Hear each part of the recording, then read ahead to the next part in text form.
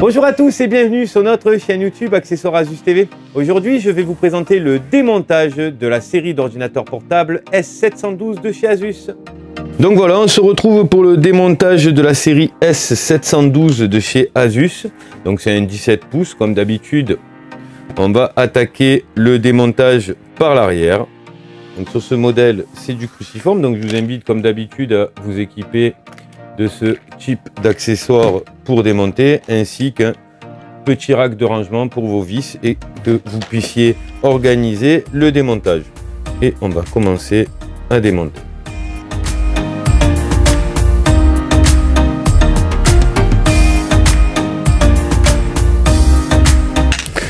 Une fois qu'on a démonté toutes les vis du bottom, comme d'habitude, je vais vous inviter à ne pas forcer. J'ai un doute sur ce modèle où il se cache peut-être, je dis bien peut-être, c'est pas une certitude, on va le voir ensemble, des vis sous les patins. Du moins à l'extrémité ici et ici.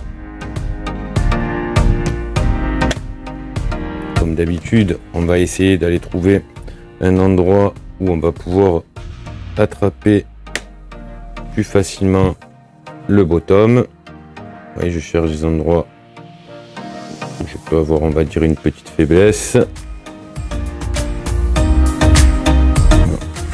Bien plaqué celui-ci.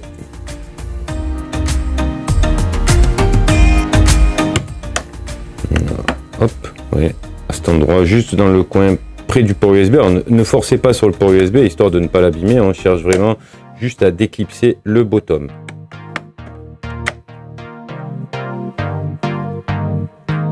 comme d'habitude. On garde légèrement maintenu pour éviter qu'il vienne à se refermer tout seul.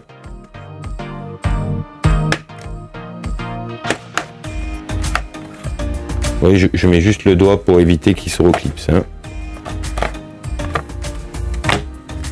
Alors, on va contrôler qu'il vienne sans voilà, déjà, je peux vous dire qu'il n'y a pas de vis ici, donc il n'y en avait pas sur ce modèle. Il y a des modèles où ils y sont. Donc si vous voyez que ça force à ce niveau-là, prenez le temps de venir décoller ici la partie caoutchouc euh, délicatement pour pouvoir retirer souvent les vis. Si elles y sont, elles sont à ce niveau-là et à ce niveau-là. En l'occurrence, sur ce modèle, sur le S712, il n'y avait pas de vis. Donc voilà pour le démontage du bottom. Alors, comme d'habitude, on va faire un, un petit tour d'horizon du matériel qui est visible. Donc là, nous avons le système de refroidissement actif, ce qu'on appelle le thermal module. Donc là, on a la partie ventilateur. Ici, vous avez le thermal module, mais la partie passive, celle qui va euh, diffuser, je dirais, la, la, chaleur vers le ventilateur pour l'extraire. Ici, vous avez la barrette de RAM. Donc déjà, on peut voir sur ce modèle qu'on va pouvoir changer la barrette et pouvoir l'augmenter si la puissance de la barrette ne vous suffit pas. Ici, vous avez le disque dur M2, ce qu'on appelle le SSD. Hein, c'est les nouveaux formats en format M2. Et ici, vous pouvez voir qu'on peut y rajouter, si on veut, un second disque dur. Hein. alors que ce soit un SSD 2 pouces et demi ou un disque dur mécanique 2 pouces et demi. Donc là, vous allez pouvoir venir rajouter du stockage si ici, vous n'en avez pas assez pour votre, sur votre système. Ici, on voit la, la petite carte Wi-Fi et on a bien sûr tous les petits accessoires qu'on va démonter ensemble. Donc pour commencer comme d'habitude, je recule ici ma petite sécurité de ma prise de ma batterie et je viens déjà, première chose, débrancher ma batterie. Comme d'habitude, je le répète, c'est pour éviter que si mon tournevis vient à toucher ici, j'évite le retour d'électrique et j'éviterai bien sûr de griller ma carte mère. Donc là, on va démonter la batterie. On va contrôler, donc on voit ici que les fils du Wi-Fi passe sur le contour de la batterie. Donc avant même de lever la batterie, je vais soulever ici le petit sparadrap. Je vais laisser mon gant. Je vais venir débrancher les plots qu'on retire simplement en les tirant vers le haut. Vous avez les petits repères triangulaires blancs et noirs pour vous souvenir de où va venir se brancher euh, les fils. Et à partir de là, je vais pouvoir maintenant dévisser la batterie.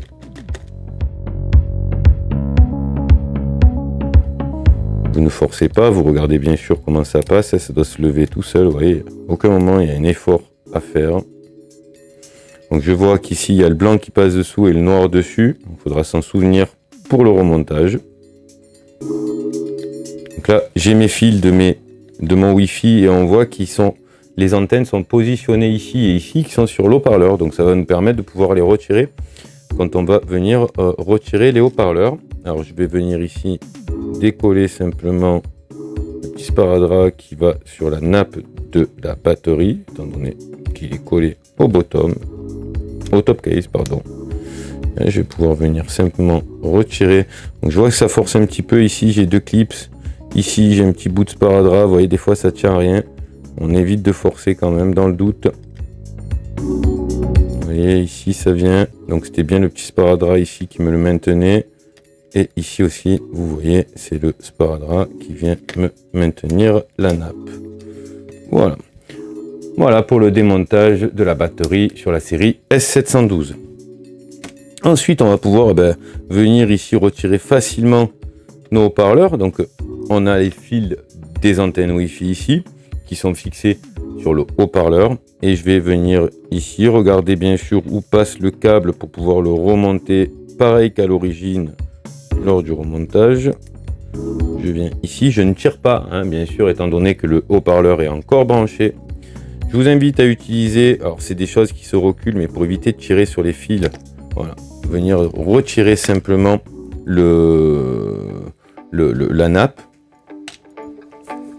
qui vous permettra de débrancher vos haut-parleurs. Voilà pour le démontage des speakers.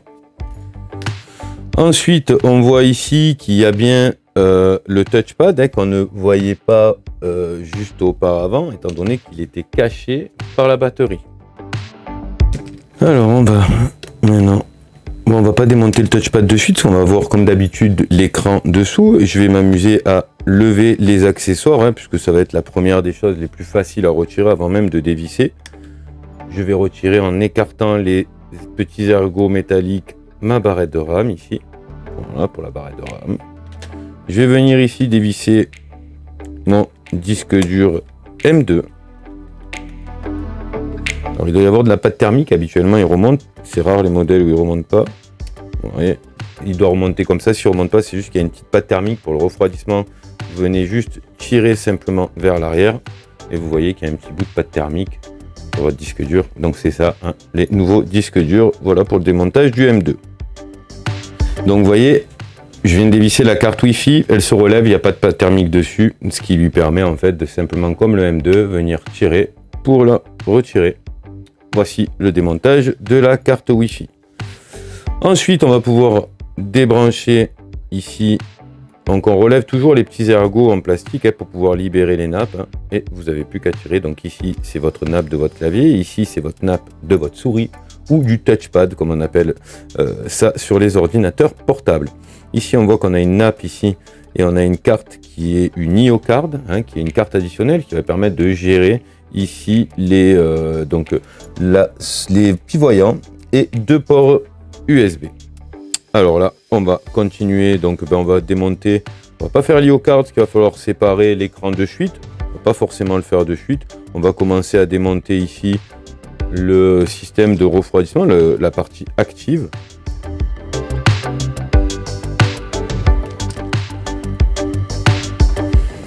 Est retenu ici par le sparadrap. On va y laisser dessus le remontage. Je ne tire pas dessus.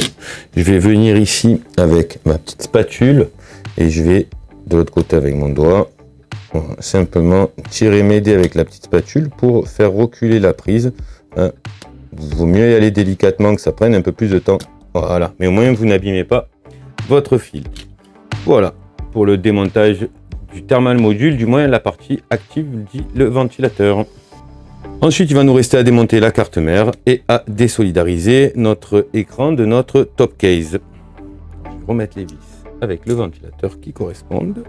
Voilà. Je vais pouvoir aussi, une fois que j'aurai retiré mon écran, venir démonter le touchpad. Alors, je vais pouvoir déjà, avant même de démonter la carte mère, puisque dans tous les cas, la carte mère ici est maintenue par la charnière, je vais donc de suite euh, désolidariser l'écran, ce qui me permettra de pouvoir libérer ici mon touchpad. Alors, on va commencer par défaire les charnières.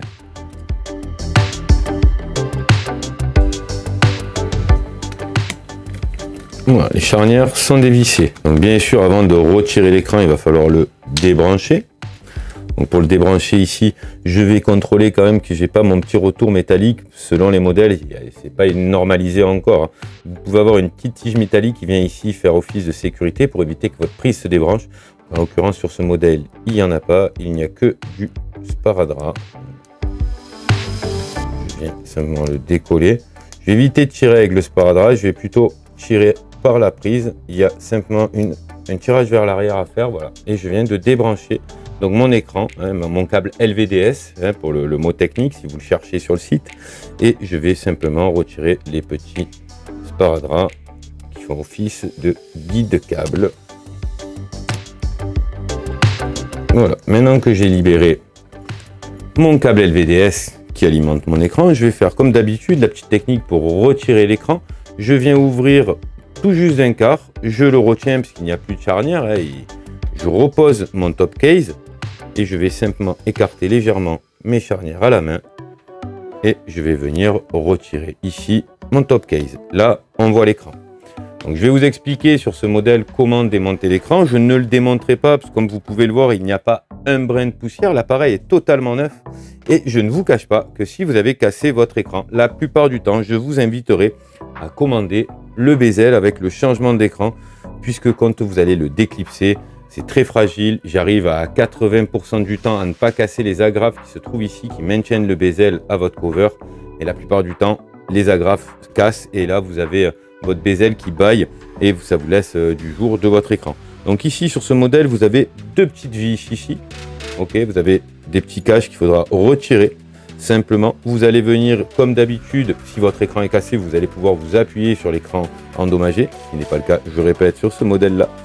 Je vais retirer mes deux vis, je vais déclipser mon bezel et ensuite sur ce modèle là vous avez une vis ici et une vis ici. Vous avez quatre vis qui maintiennent votre écran.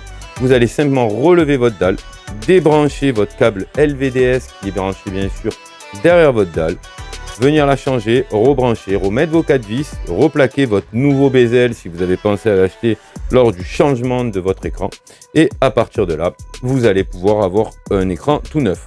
Je vous montre si vous voulez un endroit où l'écran va se déclipser et le bezel va se déclipser facilement sans forcément cacher, c'est souvent à ce niveau-là.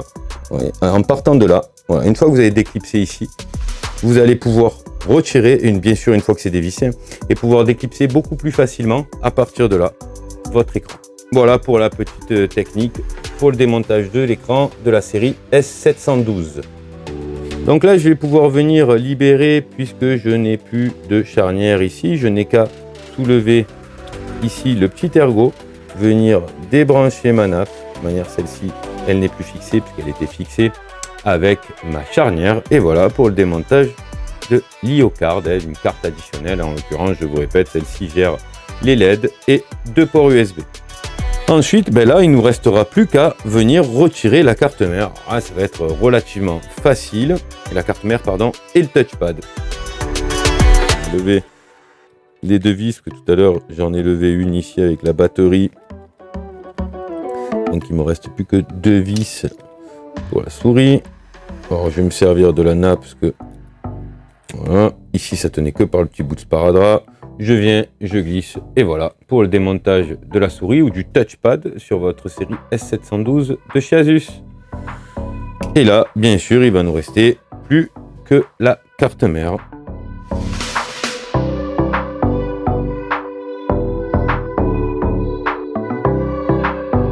Comme d'habitude, je fais un contrôle, voir à quel niveau ma carte mère est maintenue. Alors je vais vous le dire, hein, c'est vraiment très bête et c'est pas dû à une vis. C'est dû à un petit bout de sparadrap ici. il fait bien son rôle. Hein. Vous voyez, comme quoi des fois le sparadrap, ça peut être quelque chose en secours. Je retire simplement le petit bout de sparadrap ici. Bizarrement, elle monte un peu plus haut.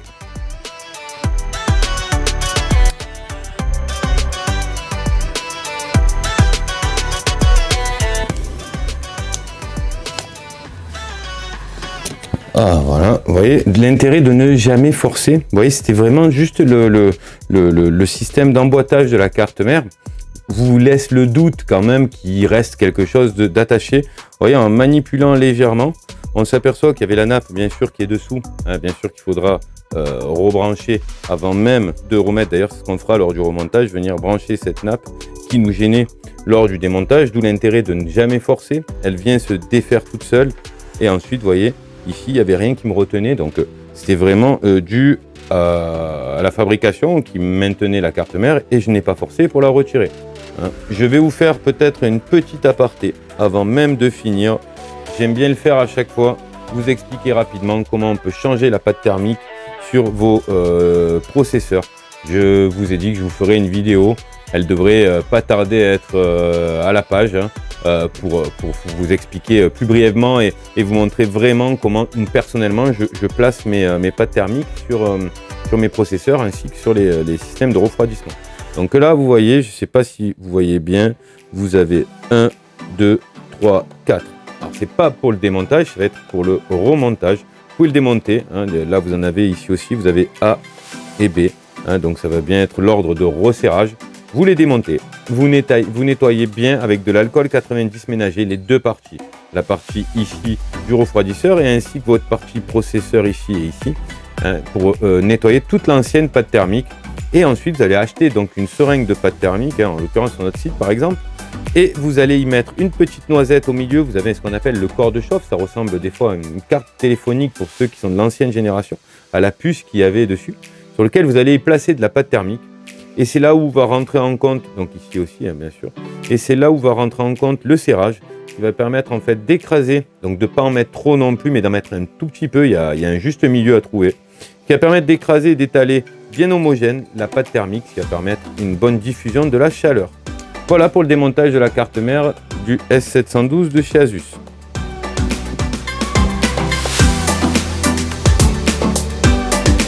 Et donc, si demain vous devez avoir à changer votre clavier, votre clavier se présentera comme ceci, ce qu'on appelle sur le site le top case.